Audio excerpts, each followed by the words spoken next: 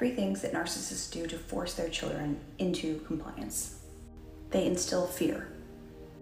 This fear can then be triggered at any time to ensure that the child knows exactly how insignificant they are and exactly how much power and control the narcissistic parent actually has over their life.